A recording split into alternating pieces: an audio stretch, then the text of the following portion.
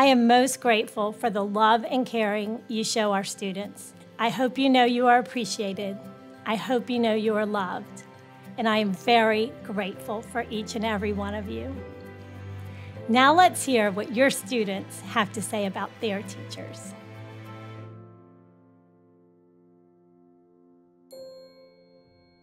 She inspires us. She's usually really good at gymnastics and stuff like that. And she's always nice. She teaches us the right way to to be um, a good person. That she gives us candy. And she makes us happy.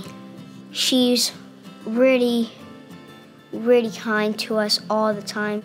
Um, she takes care of me. Because of her love and kindness for others. She doesn't like just call on, you know, favorite. She calls on everyone. She won't just give up on you. If you're having a hard time or something, you can always go talk to her. She draws with me. She makes me so happy.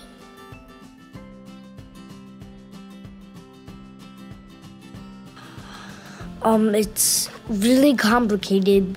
To get us to be quiet, she has to do a lot of work.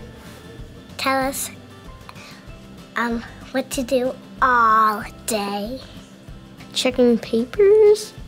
Maybe? I don't know. Probably to keep all the kids being good. Probably getting us quiet because we're really loud. because she has to make all these kids learn and do a really good job.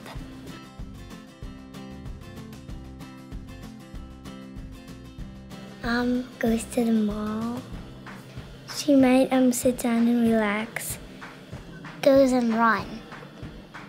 Sit on the couch and watch TV. Plays with her kids. She goes to get snowballs. But goes to yoga class. Um, they might go home and read a Bible verse. Go to eat. To her house to grade papers. Her house to take a nap. For all the hard work she does.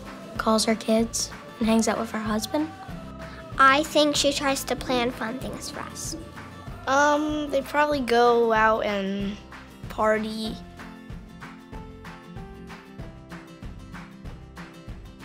Um, chocolate. Probably a piece of the Berlin Wall. Shoes. A cross necklace. Flowers.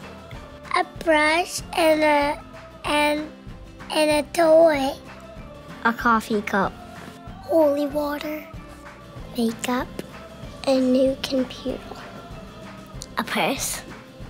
Mm, maybe a pen. A ruby necklace. Yoga equipment. A coffee machine because she loves coffee or tea. I don't know what it is. A bouquet is pretty organized, so I'd probably buy that. Um, I would probably buy her a 3D skeleton. Like, like a scented candle or something, because that's really nice. I would buy her a lifetime of hugs. I don't know, maybe a new car.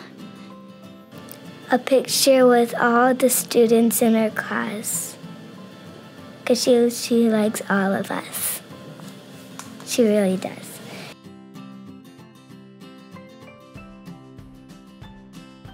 She's fun sometimes. And she is the best teacher that I've just ever had. You are a great teacher, and I look up to you. I love you. I like you, Jess. You're the best teacher ever. I love you. You're the best teacher in the whole world. You're the best teacher in the whole entire universe. I would tell her that I'll never leave her side. You are pretty and you are special. Um, I'd probably tell her that her hair is really long and you look like Rapunzel.